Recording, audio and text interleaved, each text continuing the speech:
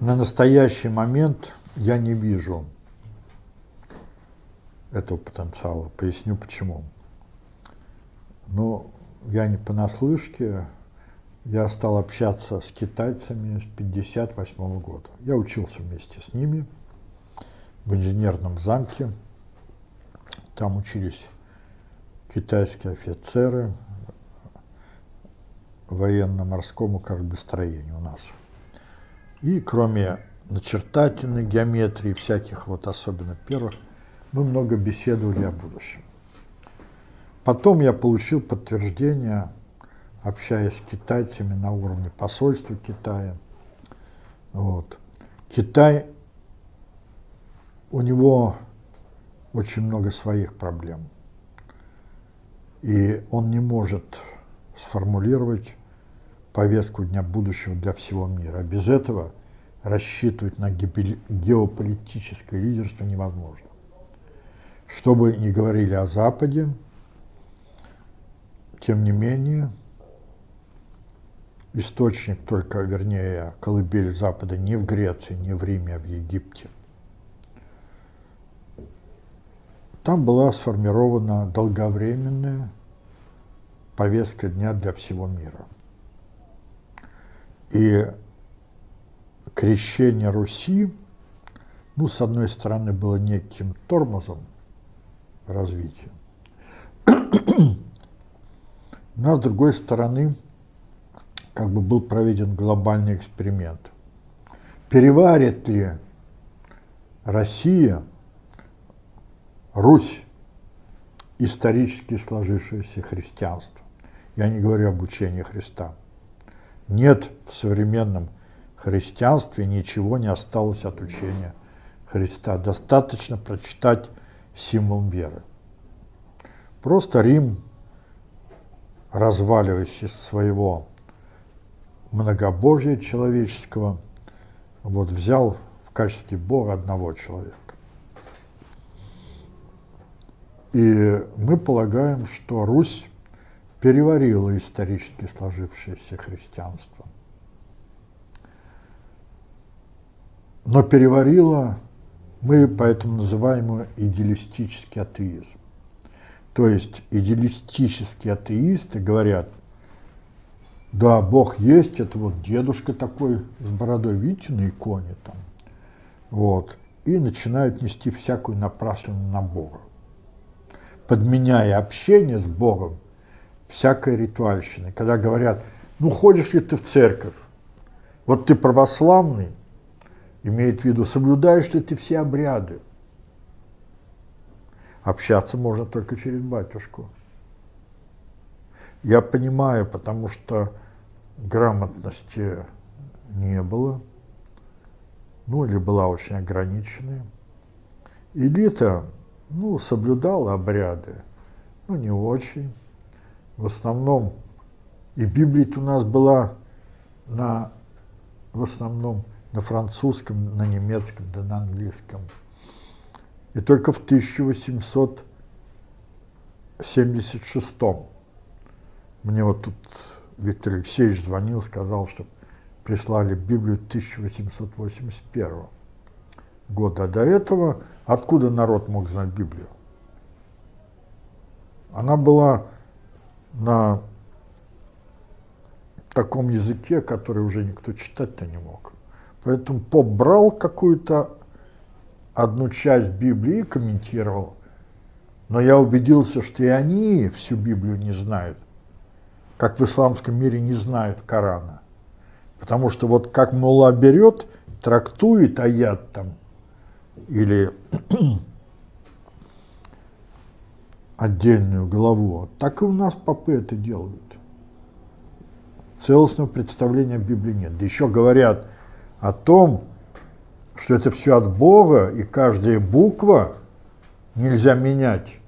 Ну, чушь несут. И в это верят.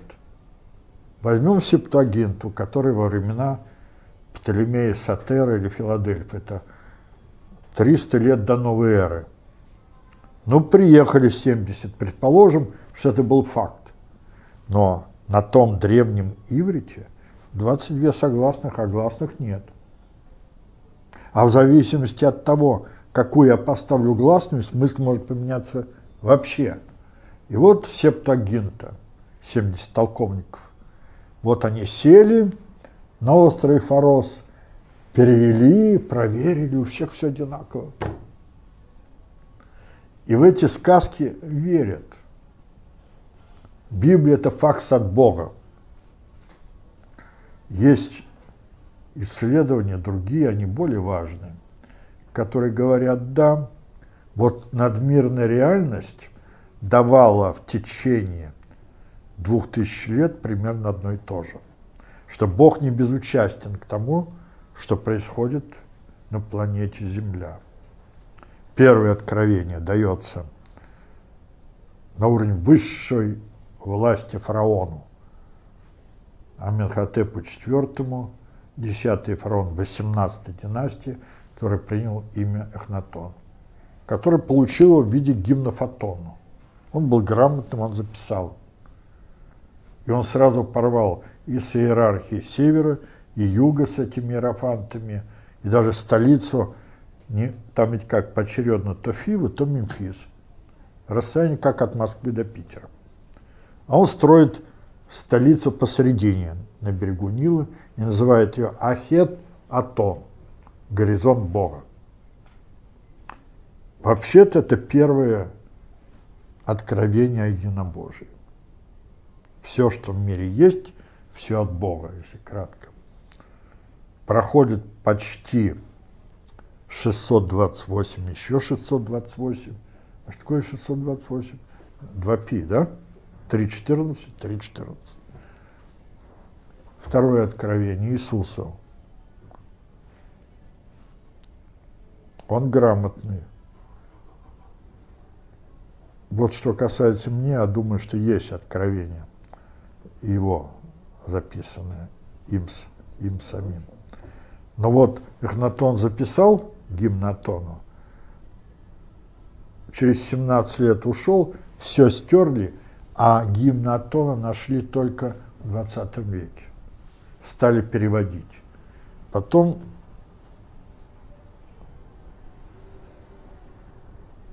апостолы записали за Иисусом. А наш Булгаков написал пятое Евангелие, кроме четырех, от Луки, Марка, Иоанна и Матфея.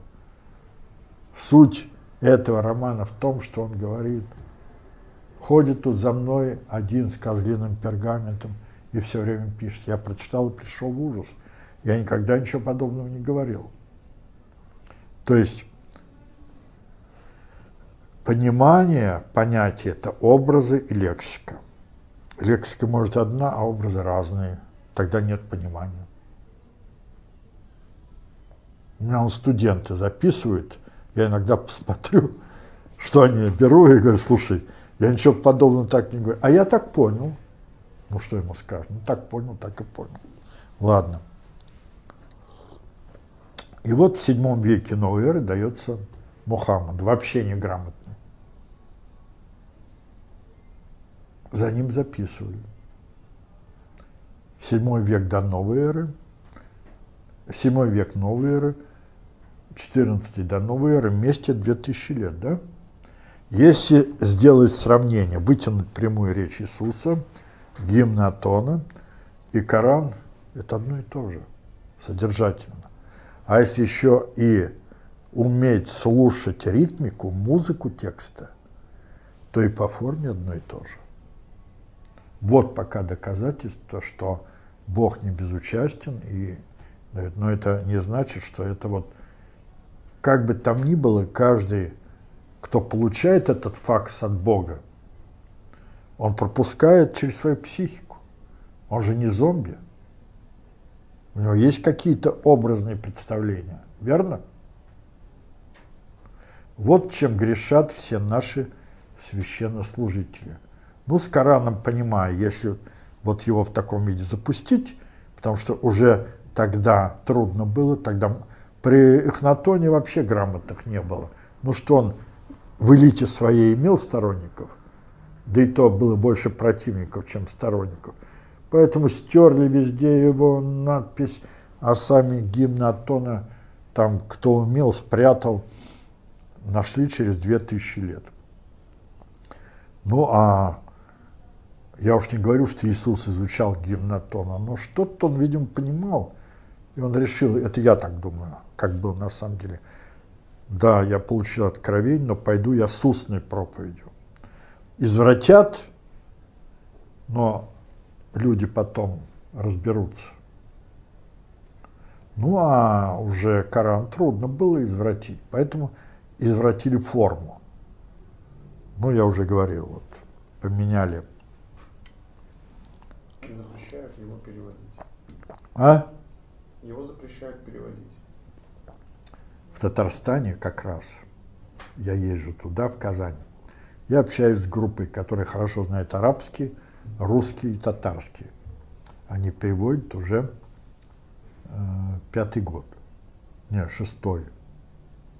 Это Очень квалифицировано. ко всем тем, что есть переводом. Еще новый. Потому что есть переводы Османова, Крачковского, там Саблукова. еще Саблукова.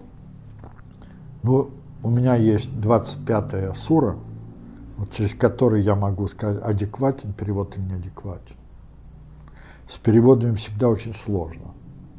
Какие образы были у Мухаммада и тех, кто переводит.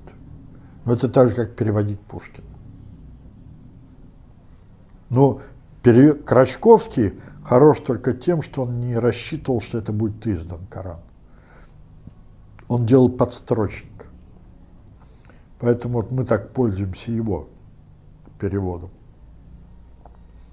Но это не значит, что он во всем адекват.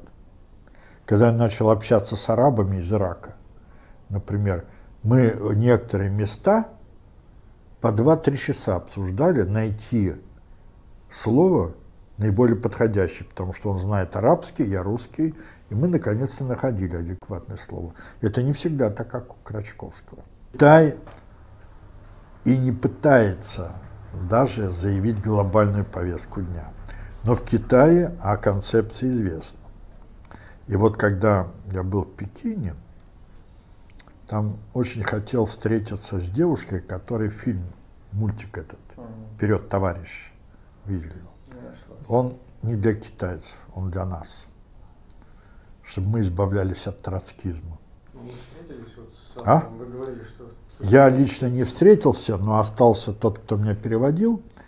И э, мой знакомый член ЦК сказал, мы ее найдем, она сейчас где-то в провинции. Он встретился, я его предупредил, смотри, там будет очень пожилой человек. А он китайский, ну, не очень хорошо, но знает. И он будет ее сопровождать. И он задал, просил ее задать вопрос, то есть он дал понять, что он знает о концепции общественной безопасности. А вот когда концепция общественной безопасности будет доминировать во всем мире, какое место Китая они видят? Ну, это примерно так же, как вот в одном из своих выступлений я рассказывал о завещании там одного римлянина, который был главным судьей, который покончил с собой. Потому что, хотя он был и противником христианства, но он понимал, что рано или поздно, это во времена еще, по-моему, Марка Аврелия, да, что рано или поздно христианство завоюет весь мир. Ну, я не считаю, что должны кончать собой, но изучать надо.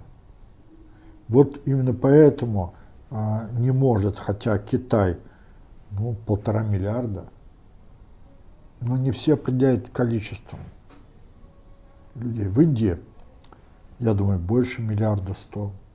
Вот Индия и Китай – это чуть не половина населения земного шара.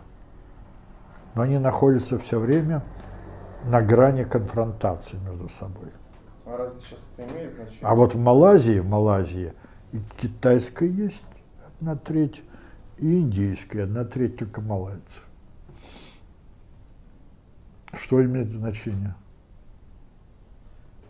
Количество населения.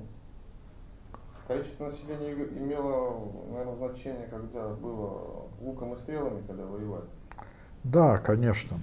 При том техническом. Ну, это смотря какие проблемы решать.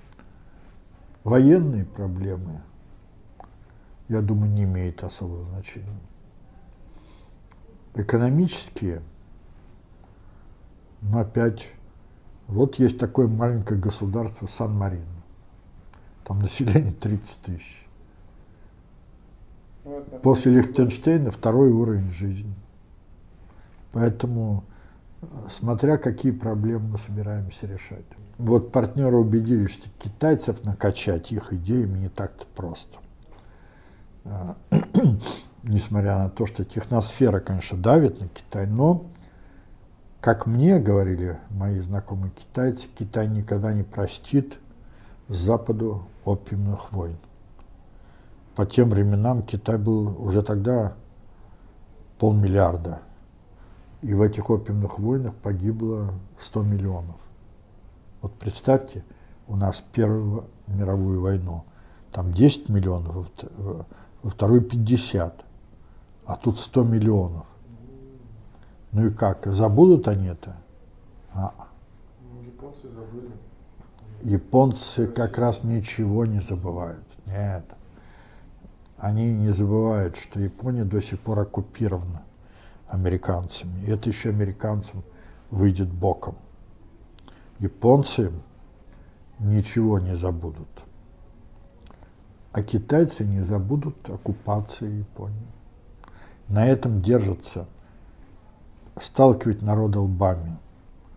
Благодаря этому и Запад, собственно, существует.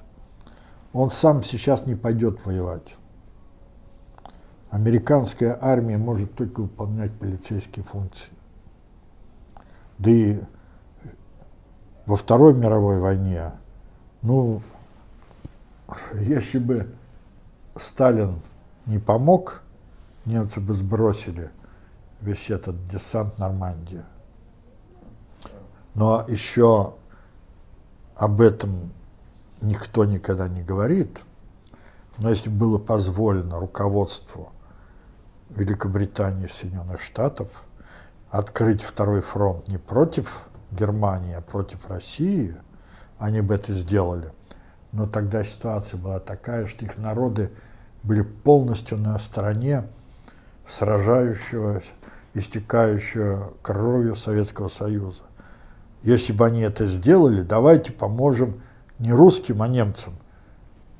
Могли бы всех снести, потому что ну, конечно, можно оболванивать народы, но не в такой степени. Но сейчас они об этом мечтают. Они хотят Европу сделать фашистской и вместе прикрою. Но опять немцы воевать не хотят. Французами видели, что вот пришел авианосец постоял, а потом авианосцы сейчас при столь развитом ракетном оружии это просто хорошие мишени. А стоимость их ой-ой-ой. У нас долго была, ну, авианосцы всегда это оружие нападения, а не обороны. Поэтому Америка, Англия, Франция, Япония имели авианосцы, а у нас не было. Прекрасно на Западе знают, что Россия ни на кого нападать не собирается. Но Европа оккупирована Америкой. И хотя давай какие угодно обещания, но э, будут двигаться и придвигаться к нашим границам. Ну ладно, придвинулись, дальше что? с Украины не прошло. Да, они сделали ее фашистской, вот, но втянуть нас в войну со своим собственным народом не получилось. В Сирии тоже не получилось. Сейчас они будут пытаться в Белоруссии решать эту проблему. Как?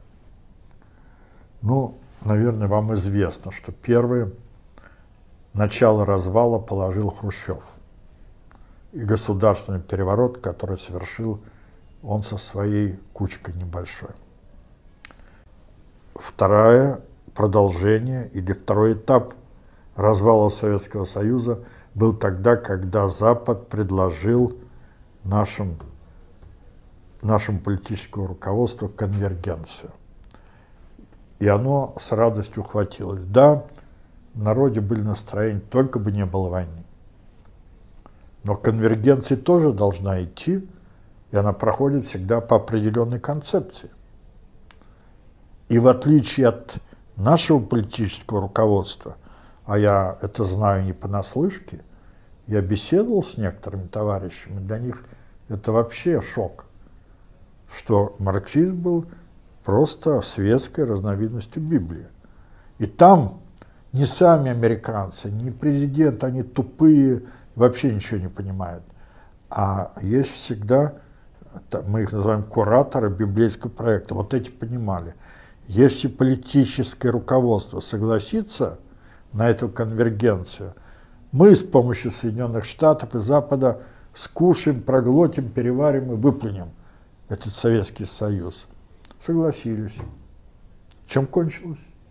Августом 91 года. А почему они предложили такое? Потому что на Западе знали, э, там не все члены партии коммунисты, особенно в высшем руководстве, но они не знали второй части этой формулы. Что не все члены партии коммунисты. То есть, что не все коммунисты члены партии. У нас было много беспартийных коммунистов. Вот это в их голову не укладывается. И вот это сейчас решает всю проблему. Сколько у нас в Советском Союзе было коммунистов, не будучи членами партии.